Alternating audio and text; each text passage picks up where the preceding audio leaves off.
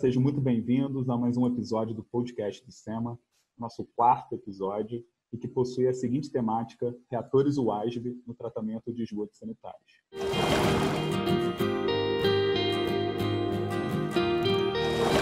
Será um episódio bem especial, que contará também com a disponibilização do vídeo, né, audiovisual, nas redes sociais do INCT, em Sustentáveis, uma parceria firmada entre o SEMA, o nosso laboratório, e o INCT, para essa divulgação científica.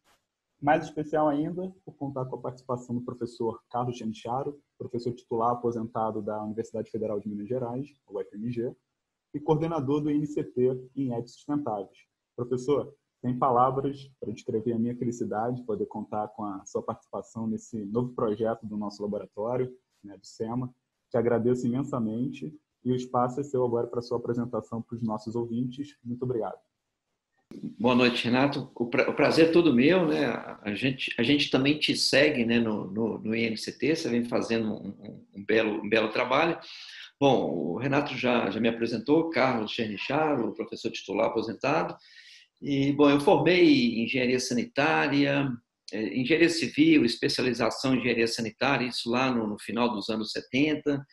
Depois fiz um, um mestrado ainda é, em engenharia sanitária e isso meados da década de 80, quando até esse momento eu trabalhava em empresas de consultoria, projeto, né, de, de sistemas de abastecimento de água, esgotamento sanitário.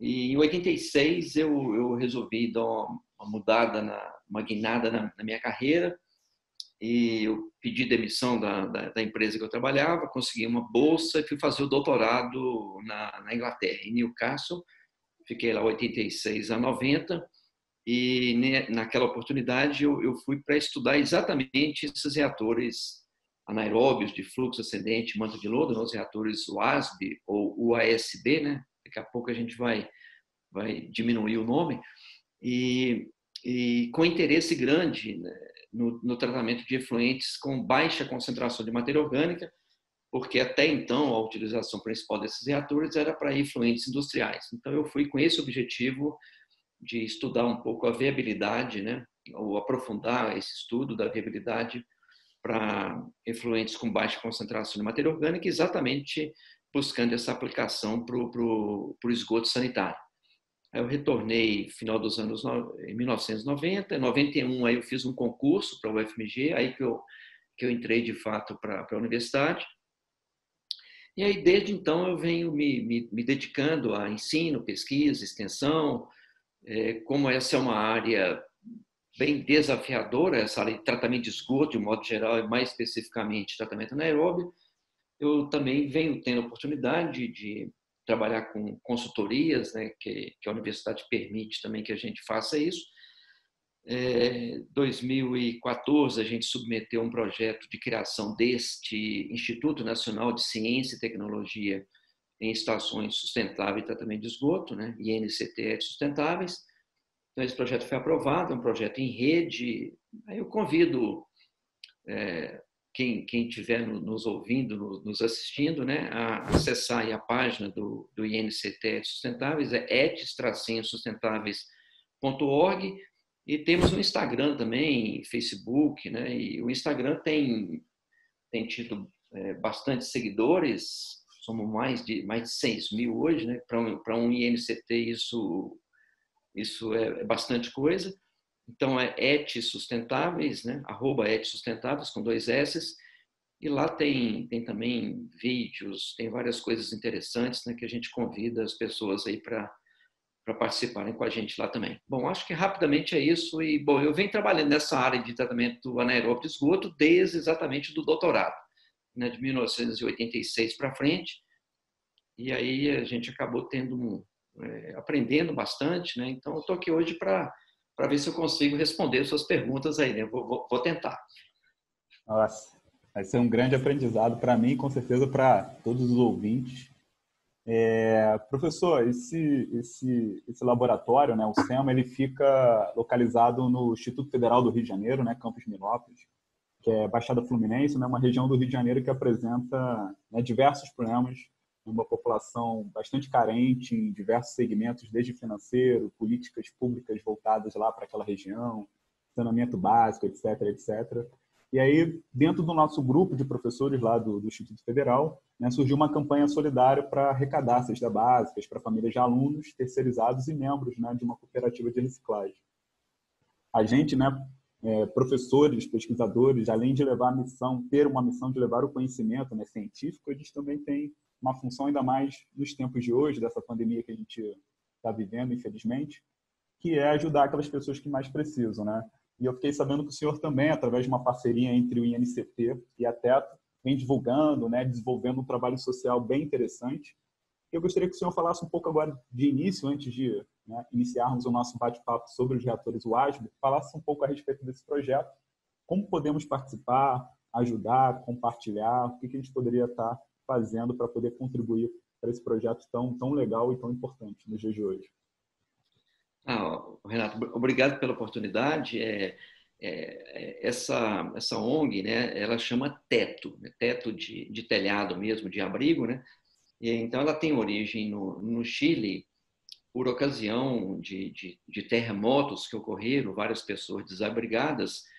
Então, é uma iniciativa de, é, de religiosos franciscanos né, que, que resolveram é, criar essa instituição com, com essa função social de, de buscar construir casas simples, né, mas uma, uma, uma residência digna, é, em, em, regime de mutirão. Né, então, são pessoas voluntárias né, que nos finais de semana sobem o morro e, e ali já tem uns projetos padrões em, em, madeira. Então, é tudo padronizado em módulos, né? E isso é feito com, com pessoas voluntárias e com as pessoas locais também que participam. Então, tem que ter o envolvimento das pessoas locais. E com, com, com a pandemia, essas, essas atividades se interromperam, mas as dificuldades continuam continuam por conta de, de, de questão de trabalho, de, de fome, né? condições de saneamento precárias. Então, eles, eles migraram agora, em vez de estarem construindo, né? eles estão buscando apoio para melhorar o sustento dessas famílias. Então, eles estão continuam dando um apoio. E aí, nesse sentido, eles é, nos convidaram para essa figura de embaixador, né, com uma meta de, em 45 dias, arrecadar 21 mil reais. Então, aí a gente levou esse projeto para dentro do NCT e várias da, da, das pessoas que trabalham com a gente lá falaram, não, eu, eu, eu fico como referência, então, de embaixador, embaixadora, né? E, e a galera do INCT está tá, tá apoiando. Então, não, não pode ser uma instituição, tem que ser pessoa física. Né? Então, é, uma das pessoas que trabalha com a gente, a Ayana, ela fez engenharia ambiental, hoje ela faz o mestrado com a gente, atua no INCT. Então, ela virou ponto de referência, ela gravou um vídeo, achei que ficou muito bacana, e lá conta um pouco dessa história e, e, aí a gente está pedindo, quem puder apoiar né, com a doação, começa ali em 10 reais e, e pode ir até parcelado no cartão de crédito se, se, se quiser, né? E, e, também divulgar. Né? Então, eu agradeço muito essa oportunidade aí que você está nos dando e é, será de, de grande valia para a gente. Né? Então, eu te passo logo em seguida o link para você poder divulgar aí para o seu público, Renato, para os seus seguidores, tá bom? Com certeza, professor. Pode ter certeza que o SEMA agora faz parte dessa campanha. Né? Quando for disponibilizado o vídeo, né, junto com o INCT, a gente, como Instituto Federal e, e SEMA também, a gente vai divulgar. Né? Eu já fiz a minha contribuição, peço para que os ouvintes possam também estar né, realizando né, uma pequena contribuição, um pouquinho de cada um, a gente já consegue fazer uma grande diferença, ajudar essas pessoas novamente, principalmente nesse momento que a gente vive hoje tão, tão complicado. Né? Bacana. É, Bem, começamos o nosso podcast de uma forma diferente, né? Eu já tinha adiantado que seria bem especial, né? Agora vamos iniciar o nosso bate-papo sobre reatores anaeróbios, né? De manta de lodo e fluxo ascendente, né? O ASP, para tratamento de esgoto sanitário. Bom, professor, partindo então para a primeira pergunta, né? É, em relação às tecnologias que são aplicadas hoje no tratamento de esgoto sanitário, né? O Brasil ele acaba detendo aí o maior parque de reatores anaeróbios do mundo, né? E adicionalmente, quando a gente retira dados lá do Atlas de Esgotos da Agência Nacional de Águas, que foi publicado em 2017, quando a gente faz o somatório das ETs, que utilizam tecnologias de reatores UASB, sozinhos ou seguidos por algum pós-tratamento, né, considerando ETs municipais, população urbana, ele também desponta aí com uma tecnologia bastante utilizada. E aí a pergunta ela fica né, na seguinte situação: a que se deve essa maior escolha né, para esse tipo de tecnologia em nosso país? A gente gostaria de ouvir né, a, a, a, sua opinião de um, um grande especialista da área.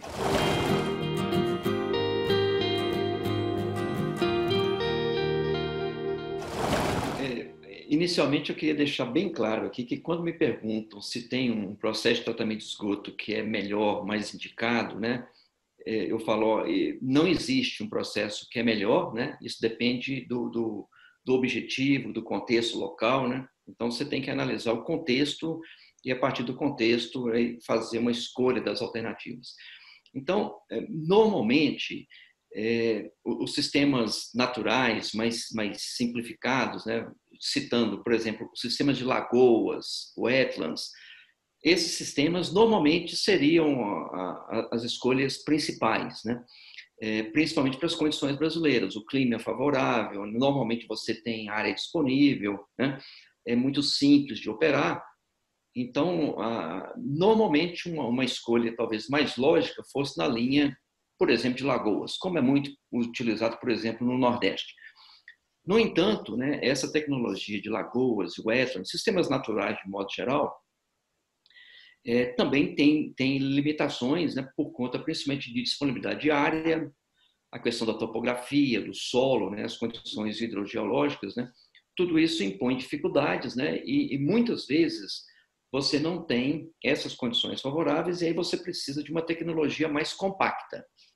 E aí, então, os reatores UASB, eles se apresentam como uma alternativa muito interessante, né? Porque além de serem compactos, eles ainda guardam esse conceito de, de simplicidade operacional, de baixo custo, por incrível que pareça, né? eles são muito robustos, né? É, você tem um sistema de lagoas aí que no conjunto trabalha aí com mais de 20 dias de tempo de detenção. Os reatores UASB conseguem entregar um efluente de qualidade similar com algumas horas, né, 8, 10 horas de detenção. Então, você tem uma compactação muito grande né, no, no volume reacional.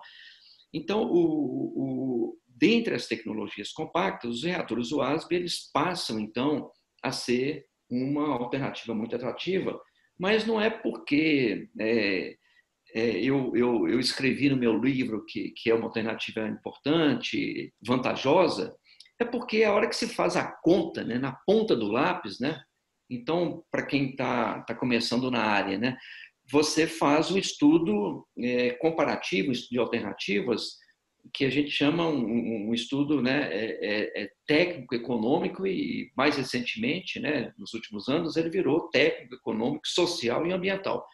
Então você coloca pesos né, para cada uma dessas questões, mas o, o componente econômico ele acaba sendo um fator muito importante para a tomada de decisão final. Então, na hora que você faz a conta na ponta do lápis, além de ser compacto, de ter uma eficiência compatível muito boa, é, de você ter ainda potenciais ganhos, né? como, por exemplo, produção de energia a partir do biogás, não consumo energético, que faz com que o custo operacional caia bastante.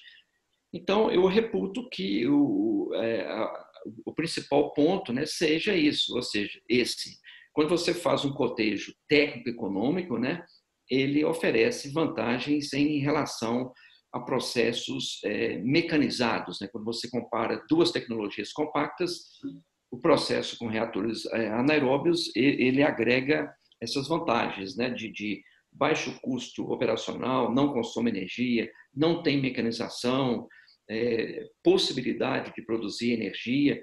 Então, nesse conceito, nesse contexto, quando você incorpora várias eh, questões, né, no somatório delas, eh, na ponderação delas, ele normalmente apresenta mais vantagens que outros sistemas compactos, tá bom?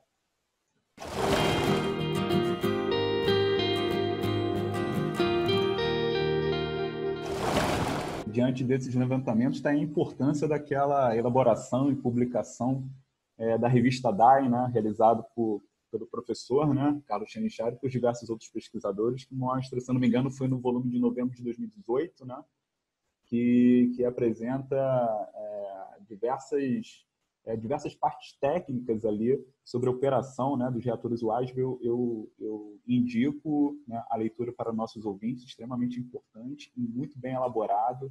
Eu sou um dos né, que grande fãs ali daquele material que estou sempre dando uma lida, dando uma, uma estudada e bastante interessante. Parabéns aí pelo professor pelo documento gerado. Partindo um pouco, não ainda para a questão da operação do reator em si, né, mas o que eu venho observando e, né, e muitas das vezes é, o que a gente observa numa estação é que o tratamento preliminar ele não, não, tem, não tem dado a ele a, a importância que ele merece, né? E o que seria, por exemplo, né, ausência de manutenções preventivas, rotinas operacionais importantes que não são realizadas. E aí a gente sabe que o tratamento preliminar em uma ET é extremamente importante né, para o adequado condicionamento do esgoto, né, para o tratamento biológico vai virar jusante, consequentemente para o bom funcionamento das unidades de tratamento. E aí, em especial para os reatores UASB, né, eles apresentam uma certa sensibilidade a uma baixa ineficiência né, desse nível de tratamento. E aí eu gostaria de perguntar, né, com base nisso, né, quais seriam os principais problemas que poderiam ser observados em reatores UASB em decorrência de uma inadequada operação das unidades a montante, aí pensando na questão do tratamento preliminar, quando, por exemplo, até o senhor já comentou em uma dessas lives já realizadas né, anteriormente, por exemplo, o lodo ativado convencional ele consegue né, suportar em função da presença do decantador de um tratamento primário entre né, o tratamento preliminar e o tra tratamento biológico em questão. Então, quais seriam os principais problemas que a gente poderia estar observando em função né, de uma uma eficiência não tão adequada para esse nível de tratamento. Ah, é, eu, eu, vou fazer um, um, link dessa pergunta de agora com, com a anterior e um pouco da minha resposta que você trouxe aí essa revista DAI, né? Então, é, é, a gente no, no, no INCT é, tem, tem assim um, um, grau de satisfação muito grande realmente com, com a aceitação dessa coletânea de notas técnicas. Foi uma edição especial que tem o título assim contribuição para o aprimoramento de projeto, construção e operação. Então, muitas vezes a gente imputa os problemas só à operação. E a experiência tem mostrado né, que não é só a operação. Talvez, em boa parte dos casos, a operação não tem culpa nenhuma. O projeto não propicia uma boa condição operacional. Às vezes o projeto era bom, mas a construção é, falhou e aí os problemas recaem é, em, quem segura a planta, porque o projeto demora ali um ano, né? a obra mais um ano, um ano e pouco, mas a operação é quase que para sempre, né? 15, 20 anos. Então, o problema normalmente recai sobre os operadores, mas eu hoje tenho um olhar muito mais solidário aos operadores, né? Do que talvez é, eu tivesse antes, né? Mas isso é um aprendizado mesmo. É, e essa grande aceitação dos reatores, você falou da, da, da do Atlas da ANA, né? saiu uma atualização há coisa de 10, 15 dias, não sei se você está sabendo, e aí os reatores UASB agora são a primeira, mais utilizada, mais inclusive do que Lagoas, né? superaram as Lagoas. E aí quando uma pessoa da ANA, a gente estava numa reunião, me falou isso, né? achando que eu ia ficar super feliz, né? aí eu falei assim, olha, é, a aceitação é enorme, para o bem e para o mal, né? Porque se aceita muito, se constrói muito, é, também os problemas aparecem muito mais. Então essa, essas notas técnicas elas foram escritas em parceria. Ela não foi escrita para acadêmicos, ela foi escrita para profissionais, para projetistas, para operadores, né? E a gente convidou gente das empresas de saneamento para nos ajudarem a, a, elaborar. Então a linguagem ela é muito para o público mais profissional. E, e, por que, que a gente tomou essa iniciativa? Exatamente porque o parque hoje é tão grande, foi tão grande a aceitação, e se os problemas que, que vêm acontecendo eles não forem corrigidos, né, uma tecnologia que continua é, tendo um potencial in, enorme né, para contribuir para esse enorme déficit de saneamento e tratamento de esgoto que a gente tem, ela pode cair em descrédito. Né? Então foi isso, a gente buscou falou, olha, entender quais são os principais problemas que acontecem na prática.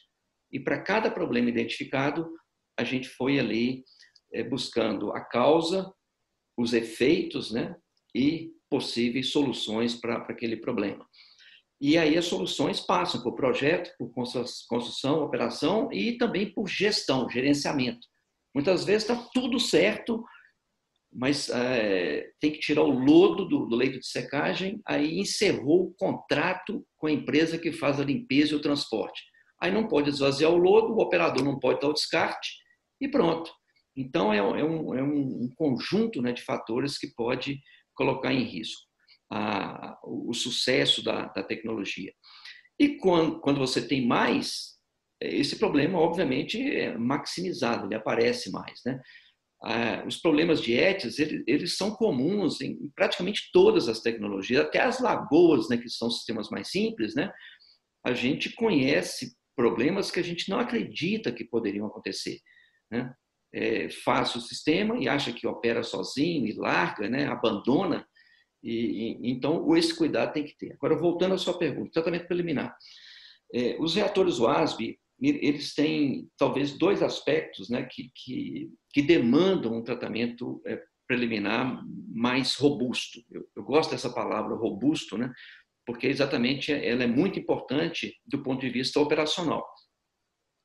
Como a introdução do esgoto no reator é feito por tubos geralmente de 3 polegadas, 75 milímetros, se você deixa entrar muitos sólidos, né, esses tubos podem ir entupindo com o tempo. Então, isso gera um problema operacional e esses sólidos que estão... Esses sólidos, vamos falar no, no, no popular, né, é, é, o que a gente antigamente chamava de lixo. Né? Hoje, a terminologia correta é resíduos sólidos. Mas é isso, é lixo, coisas que não deveriam estar no esgoto, né, e que o usuário do serviço, por uma falta de informação eventualmente, não descuido, ele muitas vezes usa o vaso sanitário como uma lata de lixo. Então, a quantidade de plástico, de, de cotonete, de, de, de, camisinha, de cabelo, fio dental, isso para falar de coisas pequenas, né? Então, isso tudo chega e isso, obviamente, principalmente os têxteis, né? Eles vão se aglomerando junto com cabelo, né? e, e com fio dental, isso vira uma trama que vai se acumulando e entope esses tubos. Então, se entope o tubo, isso dificulta a distribuição homogênea do esgoto, que é um, um fator muito importante. Então, o primeiro aspecto é a remoção de sólidos né, para proteger o reator. E, e, e, aí, por consequência, esses sólidos que eventualmente não foram retirados e entram no reator, eles passam a fazer parte do lodo, né, então, diminui o valor desse lodo, por exemplo, para um reuso posterior, que seria muito benéfico, né? Acumula também na escuma, que é uma capa flotante que fica na parte superior, que dificulta também a remoção. Então, esses são, são é, efeitos colaterais, né? A questão do, do, do lodo e, e, da escuma. E o outro grande problema é a areia. Né? Então, o tratamento preliminar, por quê? Se vai para um decantador primário, que você falou no, no sistema de lousa de vaso, o decantador primário normalmente tem uma ponte raspadora que consegue remover essa areia. No reator UASB não tem essa ponte, não tem mecanização. Então a gente depende de tubulações de extração que atuam muito na remoção do lodo que está no entorno da boca do tubo. Né? O, o lodo que está mais distante, ele não vem, ele não é removido. Então, se a areia entra, ela vai acumulando, isso vai gerando um passivo, vai criando zona morta, né? e vai tirando o volume útil operacional do reator. Então, um cuidado muito grande com isso, com sólidos, por conta dessas três primeiras coisas, entupimento, lodo e espuma, e areia, né, por, por ser difícil de remover e ocupar um volume racional importante. Então, o, a norma brasileira de 2011, que não tinha reatores anaeróbios, né, ela passou a ter em 2011, ela já traz muitas recomendações importantes nesse sentido, né, em termos de abertura de grade, uso de peneira, dimensionar o desarenador com taxas é, menos arrojadas, ou seja, você trabalha, a norma antiga permitia aí até 1.300 metros cúbicos, metro quadrado por dia. A norma de 2011 ela já pede no máximo 1.000, né? então o desarenador acaba ficando maior, maior, remove um pouco mais de areia. Então, o tratamento preliminar, concordo plenamente com você, né? É, embora não seja parte do processo biológico, sem um, um excelente, não é nem bom, sem um excelente tratamento preliminar, a gente não vai ter o sucesso de um, de um reator WASB ajusante. E, e, não é apenas operação, como a gente mencionou, né? projeto, é, a própria construção e, e, obviamente, também a operação do tratamento preliminar. Não, perfeito, professor. Essa questão da areia, para mim, é, é, bem problemática. Tem até na questão da norma né, dos pontos de retirada do lodo. É, o senhor até comenta né, que é preferível que a retirada seja ali a meia altura, né? Você, de repente, retira ali... De repente, não. Você vai retirar um lodo ali, é, vai ter que tirar um volume maior em virtude de uma menor concentração. Mas, quando você pensa na areia, né? Você não vai retirar aquele lodo de fundo, porque ele também, aquela manta atua ali como um filtro então, essa problemática também, quando a areia tem esse aporte no sistema, é, é, é bem complexo, bem complicado mesmo. Então, daí a importância desse tratamento preliminar para reter esse material, para que ele não venha né, entrar então no reator anaeróbico.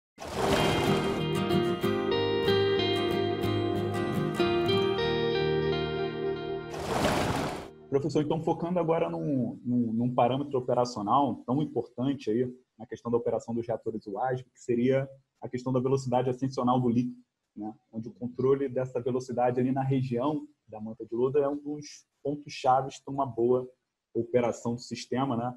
que ela permite ali a imobilização né, da biomassa, idade do lodo mais elevadas, né, menor probabilidade para você acabar perdendo sólidos, né, sólidos em suspensão na linha fluente do teu reator.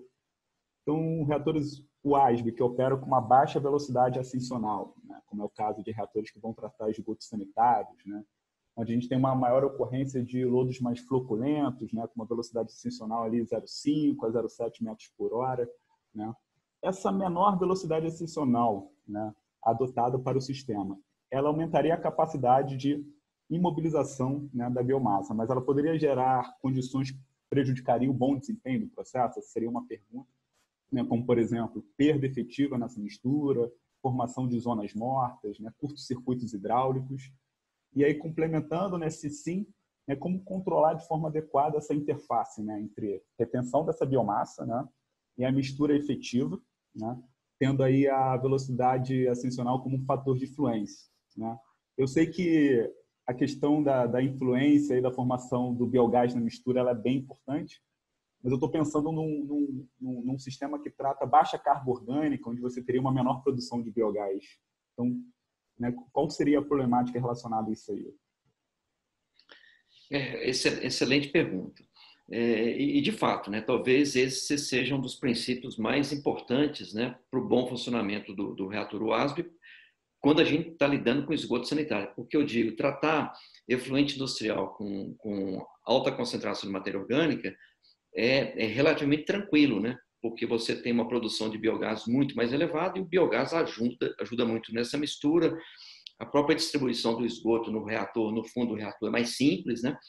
E quando essa tecnologia foi é, é, é transferida né, para esgoto sanitário, essa foi uma das principais dificuldades, né? Como compensar essa perda de produção de biogás sem perda de eficiência, que ainda tem uma boa mistura. E aí passa a ser muito importante esse sistema de distribuição do, do, do afluente. Então, ele tem que ser bastante generoso em termos de pontos né, de, de, alimentação de esgoto, levando o esgoto até o fundo do reator, para melhorar ao, máximo o contato né, com, com, esse lodo, com essa biomassa que está no compartimento de digestão, né, principalmente aquela mais ao, ao fundo. Então, passa é, não apenas ter uma boa velocidade, mas ter uma boa distribuição né, equânime do esgoto ali no fundo do reator. É, a questão de variação de velocidade, no efluente industrial praticamente não há, porque geralmente trabalha com tanque de equalização, né, você bombeia uma vazão constante, então o TDAH é quase, é, varia muito pouco. No caso do, do, dos reatores de esgoto, você tem uma variação horária né, da vazão ao longo do dia, e também uma variação ao longo do ano. E nas condições brasileiras, é, essa variação ao longo do ano, ela costuma ser muito é, grande, maior ainda do, do, do, que você prevê em projetos normais, por conta de contribuição de água de chuva no sistema de esgoto. Então, o nosso sistema, em termos de projeto, a gente fala que é um separador absoluto, mas na prática é um separador parcial, né? porque eu não conheço nenhum sistema de esgotamento sanitário que, que não tem a contribuição de água de chuva, e vice-versa, né? Chuva no esgoto esgoto na, na drenagem pluvial. Principalmente cidades mais antigas. Eu imagino que o Rio de Janeiro deva padecer desse problema, talvez até mais do que cidades mais novas, né? por conta de ligações clandestinas, difíceis de encontrar. Então, você pode passar a ter picos excessivos de vazão, determinadas horas e dias, horas do, do dia, dias do ano, e, obviamente, você não pode ultrapassar muito essa velocidade, né? porque você vai ter perda, lavagem da biomassa, e o contrário também é verdadeiro. Né? Se você tiver uma, uma velocidade muito baixa, por exemplo, você, você tem um projeto aí que você faz para vazão de 20 anos, né? mas se você não trabalha bem a modulação, né? construir vários módulos, né? para ir usando os módulos ao longo do, do crescente da vazão. Então, o, o, ideal é que você tenha volume de reatores né, compatíveis né, com volumes de esgoto que são aplicados. Aí você consegue ter esse, esse melhor controle né, da, da, das velocidades. Mas ainda assim, é, existem horários do dia, por exemplo, que a vazão é quase zero, né? por exemplo, madrugada. Então, se a vazão reduz muito, a velocidade nesses momentos também vai reduzir. Então, você vai ter uma maior acomodação do lodo, mas isso não é um grande problema. Por quê? Porque a hora que chega é, as primeiras horas da manhã, a vazão vai aumentando, isso novamente recupera aquela, aquela mistura. Né? Então, é, o problema é você deixar com baixas vazões por longos períodos. Né? Aí você vai ter uma pode ter uma compactação excessiva do lodo e aí o que já, a mistura que já era problemática, ela fica mais difícil ainda porque o lodo aumenta muito de, de concentração. Mas isso é possível equacionar né, com esse estudo criterioso dos hidrogramas de vazão que a sua estação estará submetida e aí é, saber quais os coeficientes de segurança que você vai utilizar. Uma vazão que ultrapasse a capacidade máxima hidráulica, ela não poderá ir para frente, né? Aí, infelizmente, né, tem-se que usar do artifício de extravasores.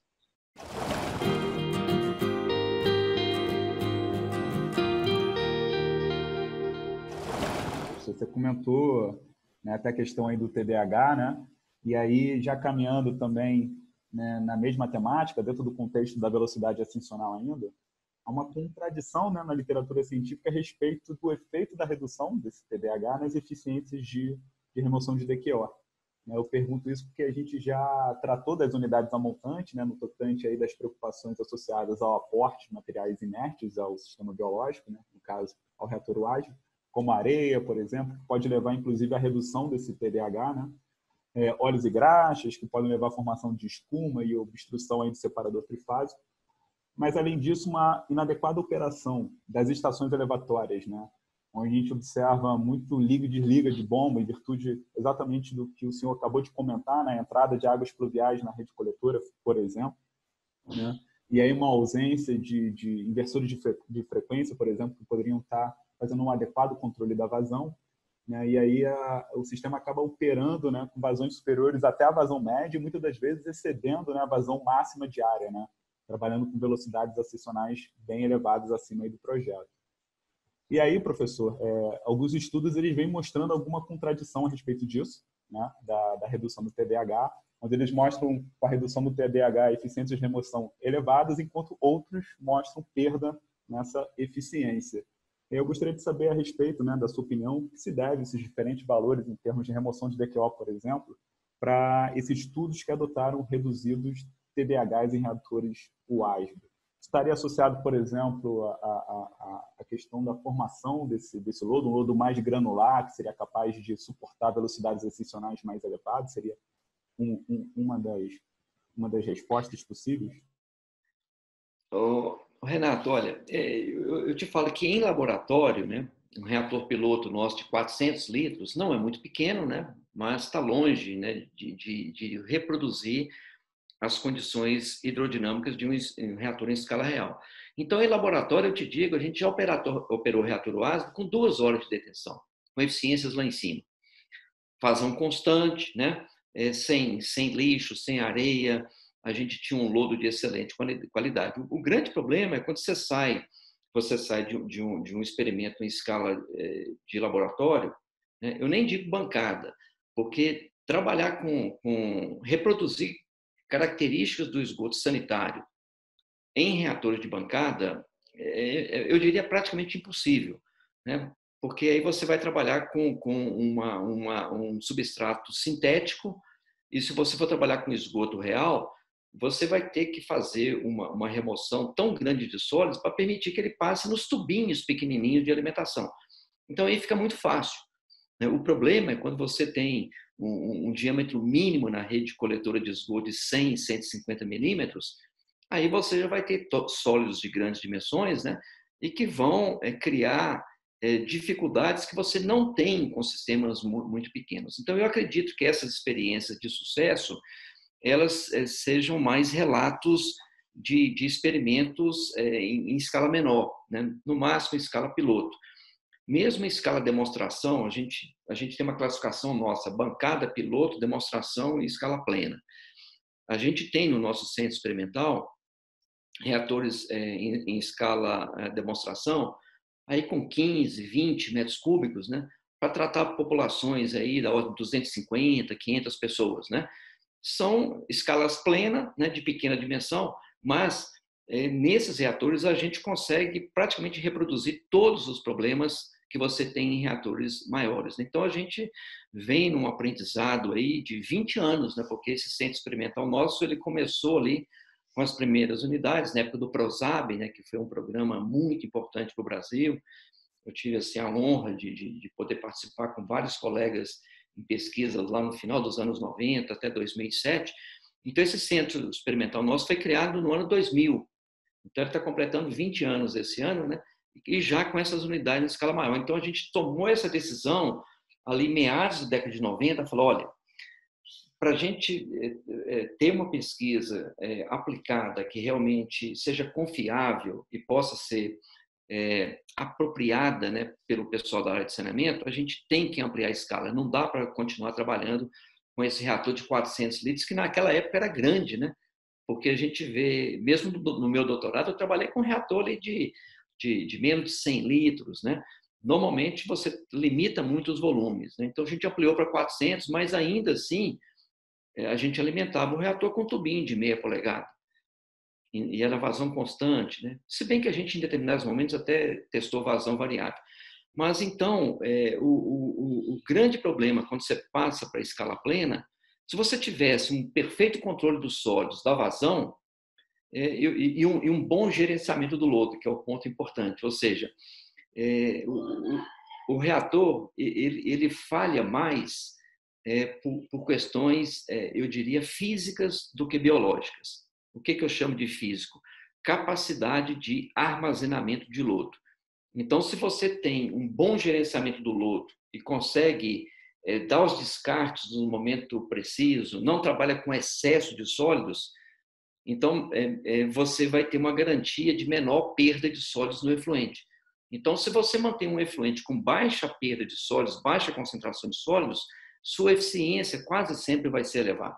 O problema é quando você perde o controle do descarte do lodo, e aí se você não dá o descarte no momento devido, o que, que acontece? O reator, literalmente, ele fica cheio de lodo, o lodo vai para o compartimento de decantação, e aí qualquer sobrecarga hidráulica vai expulsar esse lodo. E aí você agrega sólidos e matéria orgânica no efluente e a eficiência cai.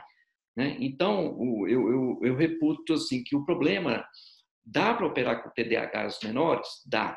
Mas você é, transforma um sistema robusto num sistema muito frágil.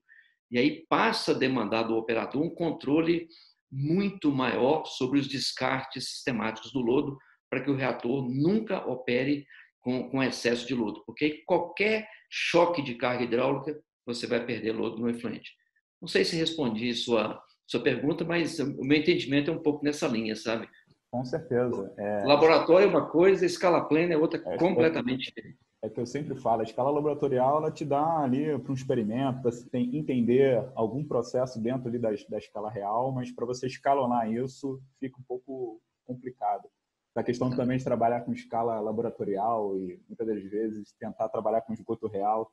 E aí o pessoal da Fiocruz estiver me ouvindo, né? As meninas lá da limpeza sofrendo com a gente da, de entupimento de mangueirinha, chegar no outro dia, tá o laboratório tomado de esgoto. Então, é bem complicado. Depois a gente passou a utilizar eh, reatores maiores de 300 litros, que também é muito complicado para você também gerir isso aí, né? Você acaba criando aí. É, eu, eu, diria que para esgoto real, né? é, até conforme você aumenta a escala, né, é, você tem menos problemas do dia a dia, né? porque vai entupir menos, porque suas tubulações são maiores, né? Mas, ao mesmo tempo, você passa a ter um outro tipo de problema, né? Agora, as pesquisas de laboratório, piloto e tal, né, elas continuam sendo importantes nessa linha que você falou, né? Não dá para você arriscar ir para um projeto, para um sistema maior, sem ter feito essa prova de conceito numa escala menor. Né?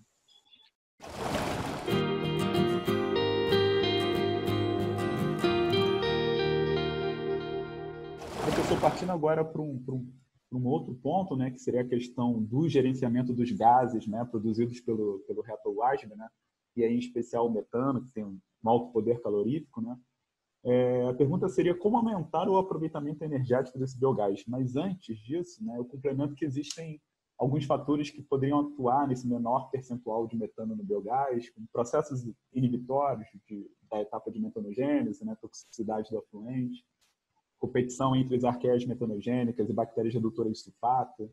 Né, mas eu, eu queria dar um olhar no tocante das emissões fugitivas, né, que é um ponto que me chama muita atenção, que é alguns estudos reportam perdas significativas do metano dissolvido no efluente né, do reator, que podem chegar a valores até de 50% do total produzido no sistema. Né? Tem até um estudo mais antigo que chegou a esse valor.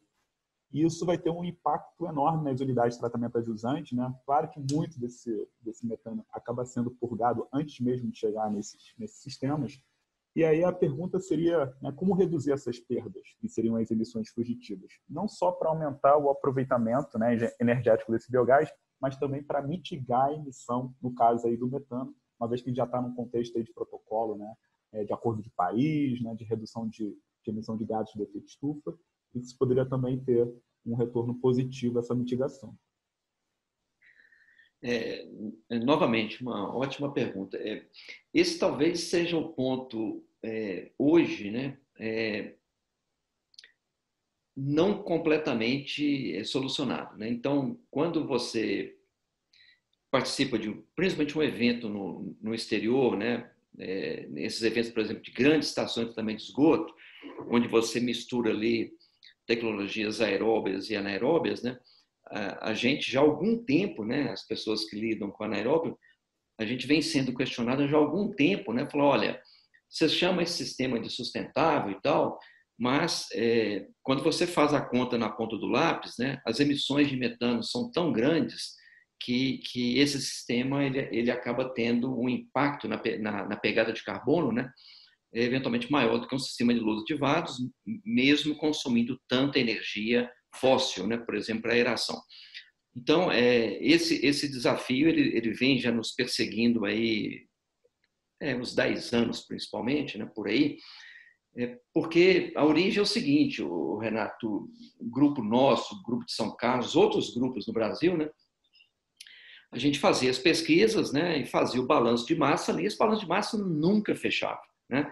Então, a gente tinha a, a DQO, né, a, DQO, a produção teórica de metano, e a hora que você media o biogás, o metano, você sempre media muito menos né, do, do, do que a, a, o modelo teórico eh, te mostrava. E, e, aí começaram esses trabalhos né, que começaram a, a, estimar perdas de metano dissolvido ou metano retido, né, porque tem, tem algumas indicações que, que na realidade ele não está dissolvido, ele está ali entrapped, né, ele está retido em, em, em partículas, em outros compostos, né?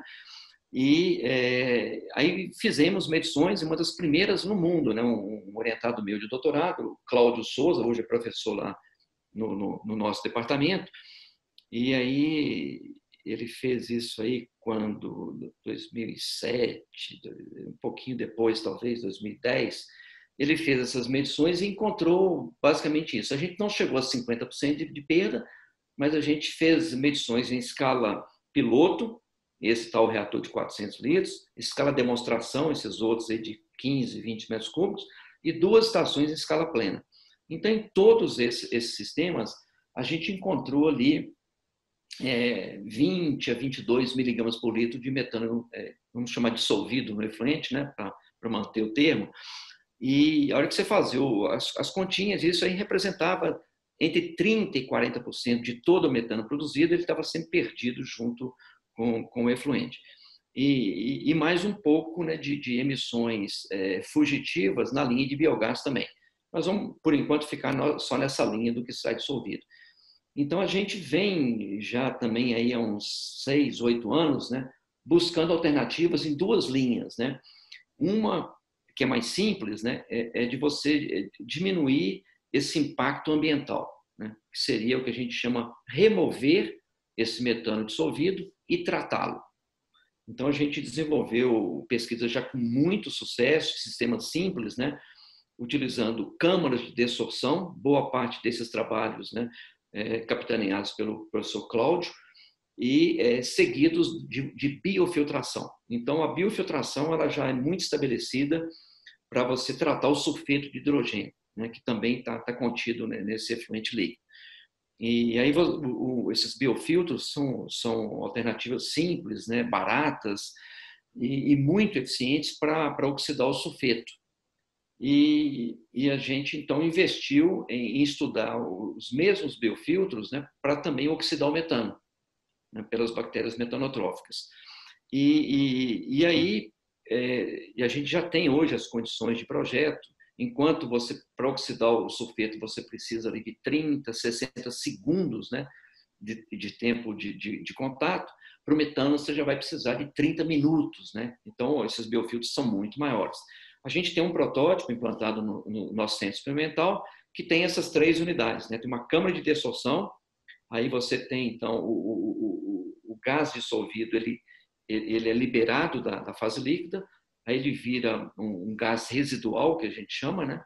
e a gente faz a exaustão desse gás, passa por um, um biofiltro para remover o sulfeto e depois por um outro biofiltro seguinte para oxidar o metano. Então, ou seja, remover e tratar eu diria que está resolvido. A gente já tem tecnologia brasileira para isso. O, o, outro desafio é remover e recuperar, porque aí você agrega o controle ambiental e o aproveitamento energético. E aí também nessa linha a gente já tem avanços importantes, tanto com, com, com câmaras de dessorção é, um pouquinho mais sofisticadas, ou seja, que usam meios de enchimento, porque para você recuperar, você não pode ter esse gás de exaustão muito diluído, ele tem que ter um conteúdo de metano ainda importante. Né? E, e aí a gente vem trabalhando com essa técnica de câmara de dissolução, mas com uma outra, que nem era a minha, minha linha principal, né? É trabalhar com membrana desgaseificadora. Então, são, são membranas, sistemas muito compactos, mas aí você agrega uma complexidade a, a mais, que é uma coisa que eu sempre tentei evitar mas se isso se pagar né, pelo ganho energético que você vai ter, tudo bem. Então, isso é uma parceria que a gente tem com a Universidade de Cranfield, na Inglaterra. Eles têm um grupo muito, muito atuante nessa linha de, de membranas e, e, a gente vem, vem fazendo um trabalho um pouco inspirado no que eles fizeram lá. Então, eu tenho um aluno de doutorado hoje, ele, ele qualificou a coisa de duas semanas e está tendo muito sucesso com essas membranas, sabe? Então, essas membranas você pode chegar até mais de 90% de recuperação. Só que quanto maior a eficiência de recuperação, mais gás de arrasto você tem que ajudar a utilizar. E aí você dilui. Então, é, você tem que encontrar um meio termo aí, né? De não necessariamente ter a maior eficiência, mas sim é, uma boa eficiência e com gás é, de exaustão, perdão, um gás residual com um conteúdo de metano ainda suficiente para você misturar no biogás e ainda você ter um poder calorífico que permita a utilização. É, e aí entra numa outra linha, não sei se você vai perguntar, né? A linha de produzir, energia ou produzir energia, é, energia elétrica ou térmica, né? Então, para energia elétrica, você tem requisitos maiores, mas para energia térmica, é, é uma, é uma possibilidade para estações pequenas, né? Muito, muito mais é, atrativa. Tá? Se sobrar tempo, a gente pode conversar um pouquinho sobre isso. Sim, com certeza. É, esse ponto chama muita atenção porque é, recentemente saiu uma atualização do novo relatório do IPCC de 2019, que é do setor de, de resíduos, né? e lá tem metano e óxido nitroso, e lá existe um fator de emissão de metano para sistemas aeróbios, né? que recebem né? efluentes anaeróbios no sistema. E aí, quando você utiliza o fator de emissão, faz os cálculos e tal, você acaba encontrando né, uma taxa de, de, de, emissão de metano transferida para a atmosfera que é menor que aquela medida né, em loco, né, in situ. Então, a gente acaba subestimando né, esses, essas medidas de emissão muito em função dessa presença desse metano retido né, no, no, no, efluente que acaba sendo posteriormente emitido nesses sistemas. Então, isso é muito interessante você reduzir isso até para que a gente possa ter fatores de emissão mais próximos ao que o IPCC sugere.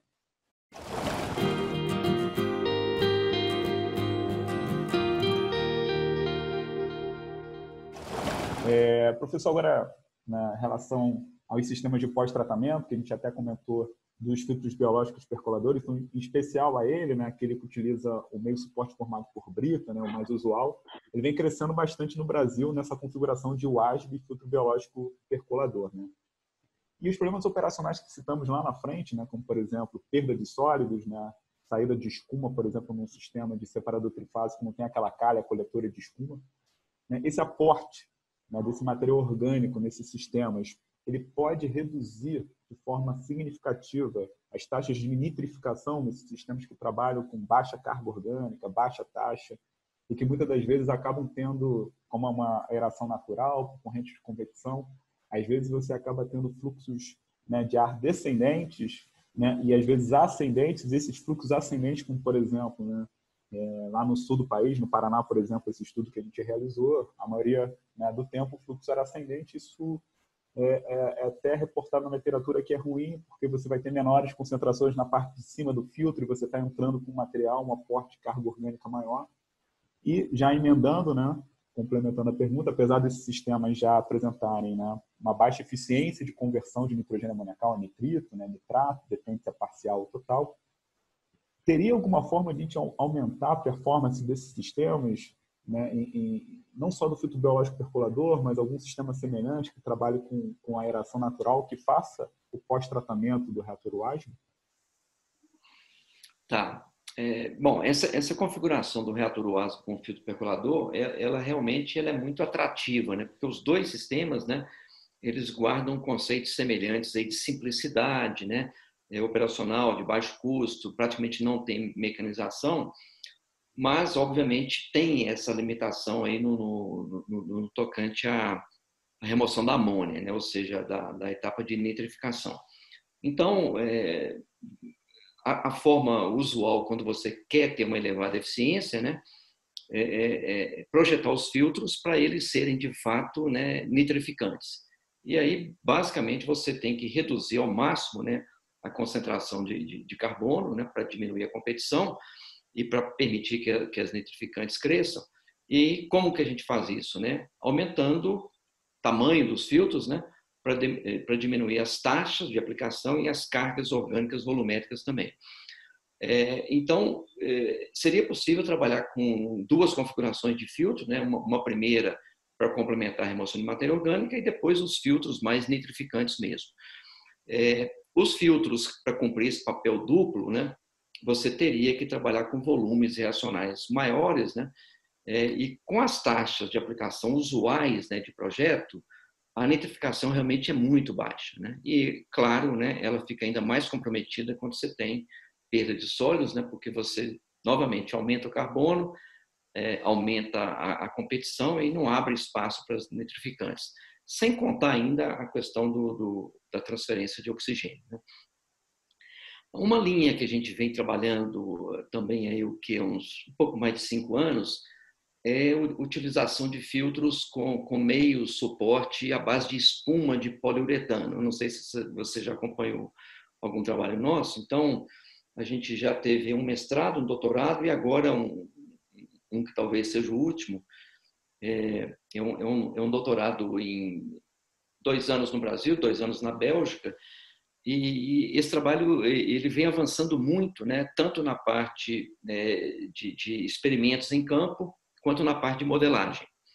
E aí a gente está exatamente tentando entender né, qual, qual, quais seriam as melhores condições para você... Porque nitrificar hoje, nesses filtros, é muito simples. Né? Então, eles eles têm esse espuma tem é, um volume intersticial que consegue é, é, desenvolver, é, sustentar no sistema uma quantidade de biomassa muitas vezes superior à brita, né? Porque a brita é só a, a questão do biofilme externo, né? E na espuma você tem uma quantidade de biomassa muito, muito maior para o mesmo volume de filtro, né? Você tem muito mais volume de área, né? Para de volume intersticial para reter biomassa. É, então, essa alteração do meio suporte de pedra para espuma, no entanto, claro, a espuma é muito mais cara, né? então a questão da viabilidade econômica é uma coisa que a gente ainda está se debruçando, né? Porque, é, mas ainda assim, se a gente comparar com, com a nitrificação e desnitrificação no, sistema clássico né, de, de lodos ativados, né, com, clássico não, é o lodo ativado com nitrificação e desnitrificação biológica, você tem uma complexidade, tem um consumo energético muito elevado. Né? Então, a gente está tá apostando muito nessa possibilidade do filtro com, com, com meio de espuma, é, quando você precisa, de fato, remover é, o, o, nitrogênio. Então, a gente vem trabalhando em duas linhas, né? A questão da nitrificação e desnitrificação clássica, mas também a gente vem, vem estudando a questão do, do, do processo anamox dentro do filtro, que aí você tem um, um, ganho adicional muito grande, né? E, mas aí a gente precisa ter uma nitrificação parcial, então o controle de oxigênio tem que ser mais, mais preciso ali na parte superior do filtro, mas é, do ponto de vista do modelamento e dos trabalhos de campo, né, as perspectivas eu diria que, que existem, que são factíveis. Então a gente ainda está num, num, estágio de, de, de, pesquisa, já numa boa escala, é uma escala de demonstração. A gente já está testando agora numa estação em escala real também. Então as perspectivas que se abrem para o filtro, né, clássicos com pedra, é, acho que não tem muito é, para ir além do que a, a literatura já, já recomenda o que a gente está apostando é nessa alternativa do, do filtro com, com meio de espuma. E aí tem um outro ganho, né, que, que talvez aí fique para um outro momento de conversar, é que esse filtro de espuma, as condições hidráulicas e operacionais aplicadas para você conseguir a remoção de nitrogênio, elas são também muito próximas das condições que a gente precisa para você ter uma endogenia muito grande e aí a perda de sólidos é muito baixa. Então, isso abre a possibilidade de você eliminar o decantador secundário. E aí você simplifica tremendamente o fluxograma do processo. Não tem mais retorno de lodo, né? O, a perda de sólidos é tão baixa que você consegue atender padrão de lançamento, mesmo sem a etapa de decantação secundária, desde que você tenha um reator WASB bem operado. Não pode ter perda de sólidos, como você bem citou aí no início. Certeza, além, né? além do, do previsto. Né? Com certeza, muito interessante. A gente até gravou um episódio recente com o professor Marcos, né? Ele até comentou um estudo que vocês realizaram em conjunto, né? Do MAET, que ela só tinha reator WASB e foi necessária a implementação de um, de um pós-tratamento. Eles estavam na dúvida de lodo ativado ou filtro biológico percolador. E ele até comentou, né, que ele, se não me engano, acho que eu tenho os valores aqui, que em termos, né, vocês avaliaram os custos de implantação, operação e manutenção entre os, entre os dois sistemas, e o filtro biológico ele deu mais barato em termos de reais por metro cúbico, mas vocês avaliaram também uma coisa que eu achei bastante interessante em termos de reais por quilograma de poluente removido, em termos de nitrogênio amoniacal. E aí o lodo ativado né, seria, então, a tecnologia né, mais eficiente e traria, então, um retorno maior. E mesmo assim ainda houve uma dúvida né, entre os gestores da, da, de qual sistema ser, ser adotado. Né? Então, tem, eu acho muito interessante essa questão também da espuma, de você aumentar a área superficial, você favorecer ali o crescimento, não só da espuma, mas outros materiais sintéticos também, que a gente vem utilizando, o crescimento do biofilme. E muitas das vezes, por que não, dependendo da condição, até não só removendo o nitrogênio amoniacal, mas promovendo também a remoção do nitrogênio total. Né? Então, Exatamente. também a gente precisa estar avaliando que é bastante importante.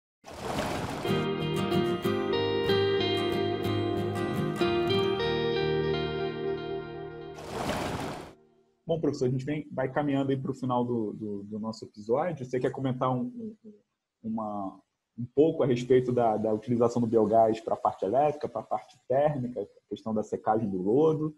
Queria deixar apenas um comentário. Tem uma, uma, uma unidade também que não é para esgoto sanitário, mas é para resíduos, que é aqui na, no Rio de Janeiro, na Conúrbina, no Caju, que, que, que, faz esse papel muito bem, né? que é a utilização do, do, do biogás. Se quiser também é, falar um pouco a respeito, a gente vai, vai agradecer bastante. Tá, é uma, uma, uma, pincelada rápida, né? A gente já estourou aqui a nossa uma hora, né? É, eu, eu acho que em mim, eu acho que em várias pessoas, né? Causa um incômodo muito grande, né? Você ter o biogás produzido e, e ele ser queimado e não ser aproveitado, né? Então, as, as pessoas perguntam, mas vocês têm a maior parte de reatores anaeróbios do mundo e quantas dessas plantas aproveitam o biogás, né? E aí é constrangedora essa pergunta. Né? E agora avançou muito. Teve um, um programa chamado ProBiogás, uma, uma, parceria do Ministério das Cidades, né, antigo, com a GIZ, uma agência de cooperação alemã, e aqui no Brasil a UFMG atuou junto com a empresa Rotária, fazendo o, o monitoramento da produção de biogás é, online, né, em, em em linha também com a carga orgânica na entrada do sistema, né, medição de vazão, DQO de entrada, DQO de saída, remoção de matéria orgânica e quanto disso de fato virava biogás para fazer as análises né, técnico-econômicas de viabilidade desse aproveitamento. Porque o biogás está ali, mas para você aproveitá-lo para transformar energia química né, contida no biogás em energia elétrica, você precisa de um investimento, né, de, por exemplo, né, de, de é, purificar o biogás. Não precisa ser em níveis elevados, mas eu tenho que tirar pelo menos o sulfeto de hidrogênio, a umidade, e eu vou ter que adquirir um motogerador. E a, a eficiência desses motogeradores é maior quando você tem potências mais elevadas. Então, esse investimento né, de beneficiamento do biogás, de aquisição do motogerador, isso tem que se pagar né, num período de tempo não muito longo, né, para ter o que a gente chama do payback, né, o, o retorno, né, num período não, não, não muito elevado. Então, ou seja, quando você tem um elevado consumo de energia elétrica numa ET e você gera a sua própria energia elétrica a partir do biogás, então você faz essa troca, então a economia que você tem na conta de energia elétrica da concessionária, né, isso aí é, vai, sendo abatido né, do valor que você investiu. Então, se você tem um período de retorno aí de quatro, cinco, seis anos, essa é uma indicação muito positiva. Então, foi feito um estudo grande nessa linha, então a gente já tem hoje para a condição brasileira, né? Dos níveis de produção de biogás, taxa de juros, né? custos de manutenção, importação de clientes, tudo isso, é, a gente tem um número é, mágico, né? Que isso é viável economicamente para populações ETs com capacidade a partir de 100 mil habitantes, estações grandes para estações pequenas, né, é, o retorno que você tem, ele não compensa esse investimento hoje. Mas se a gente conseguir recuperar aquele metano que está sendo perdido, dissolvido, né, então essa é uma meta nossa. De repente a viabilidade cai para 70 mil, 60 mil habitantes, né? Então você aumenta o espectro de ETs que poderiam fazer isso. Mas tem ainda outra possibilidade que, ao invés de gerar energia elétrica, é gerar energia térmica. E aí é muito mais simples, muito mais barato. E aí você tem vários usos possíveis, né? Uma combinação muito interessante é você usar energia térmica para para aquecer o lodo. Então você pega dois subprodutos da etna e fecha o ciclo. Então você trata esse lodo com, com, com calor, então você reduz a umidade, diminui o volume e mata os patógenos. E aí você passa a ter um lodo é, seguro para uso agrícola, por exemplo. Né? Então, essa é uma linha que a gente vem trabalhando muito forte no NCT. Então, você faz uso do biogás e para é, agregar valor a um outro produto que hoje está indo para aterro sanitário, que é um grande absurdo. Né? Então, você passa a olhar o lodo como um, um, um fertilizante né, que poderia ir para o solo, fechando o ciclo. Porque da onde que vem, da onde que é gerado o lodo, né, que tem nitrogênio e fósforo? Ele vem do, do nosso alimento, né? E da onde que vem o nosso alimento? Vem do solo.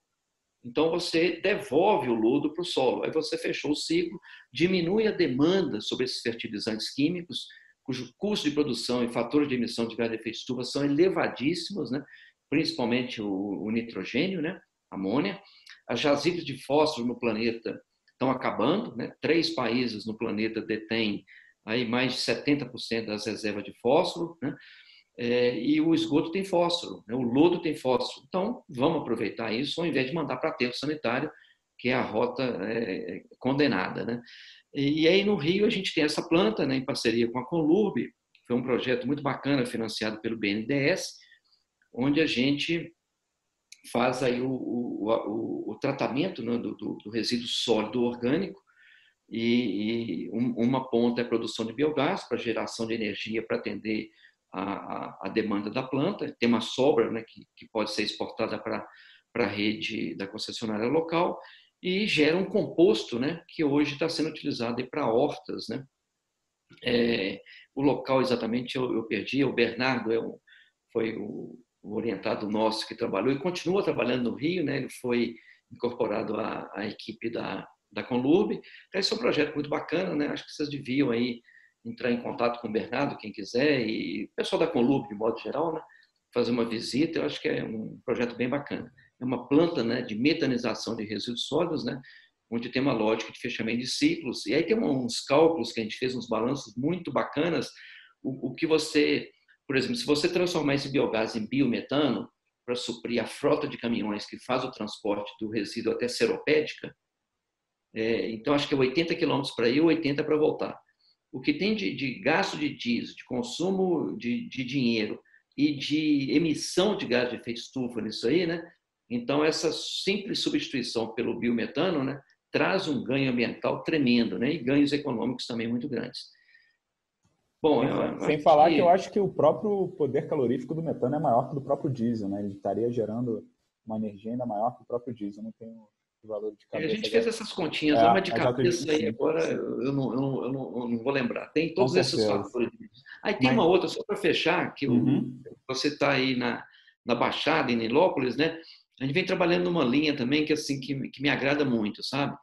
Ou seja, para estações grandes você tem como resolver. Estações médias também tem soluções bem interessantes. Pode usar um secador térmico de lodo é, é alimentado, movido a biogás.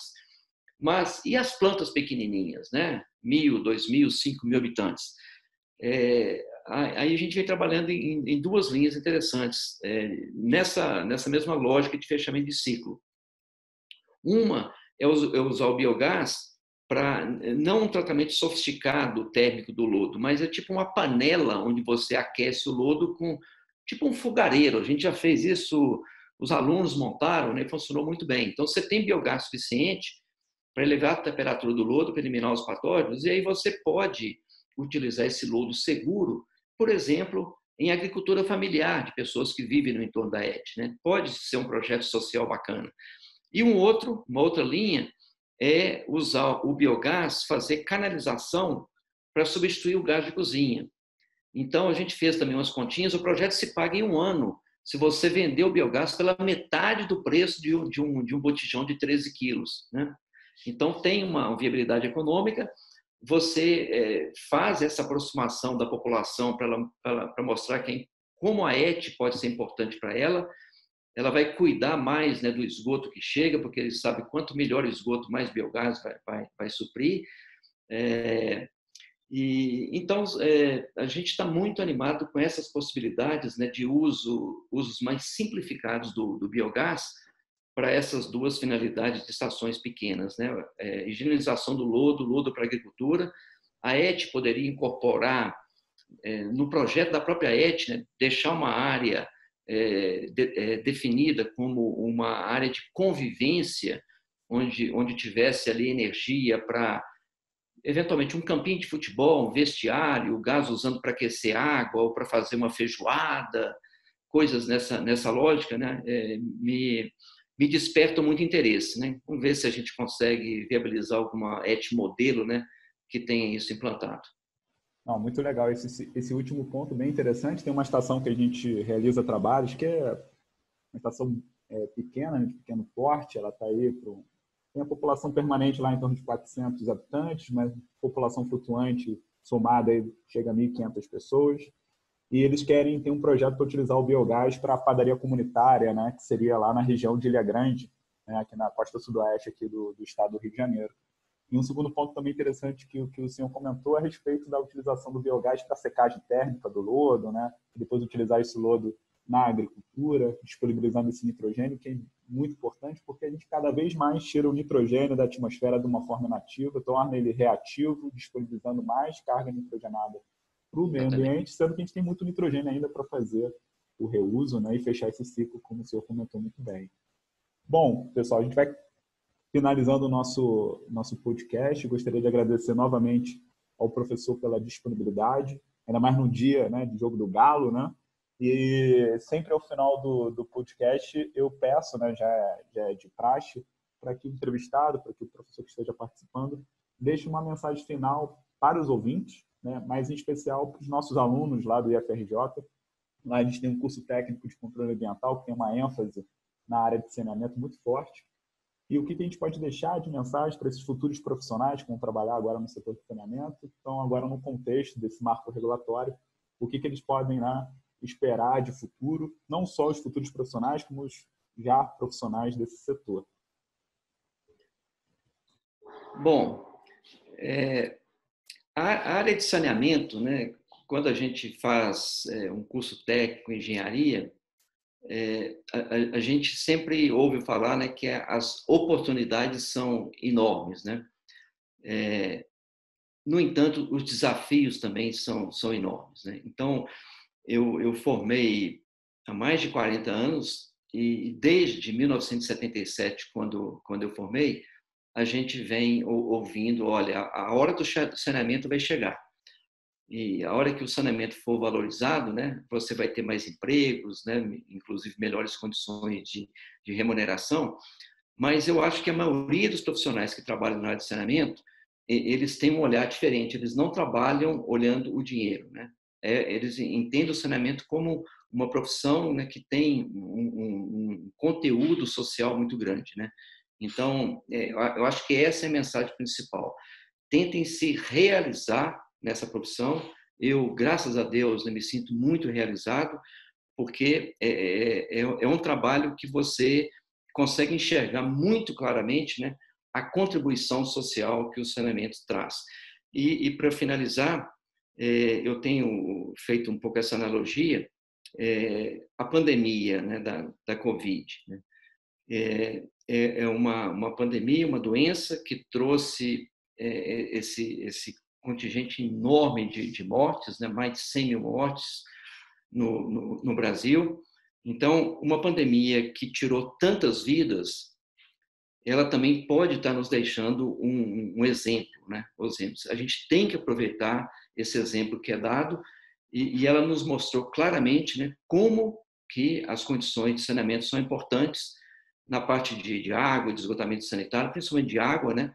Então, que pelo menos a gente aprenda com isso, né? que, que principalmente o poder público, o novo marco regulatório, enxergue né, que é, a, a, o brasileiro, né, a população, ter condições dignas né, de, de saneamento vão contribuir para salvar muitas vidas. Né? Então, uma pandemia que tirou tantas vidas, eu acredito que ela pode nos deixar um, um exemplo né, de que é, o investimento em saneamento passe a ser de fato prioritário e que, que passe a salvar vidas, melhorar a qualidade de vida das pessoas de modo geral. E espero que vocês se realizem né, nessa profissão, porque é, ela, ela é apaixonante, né, eu diria isso, tá bom?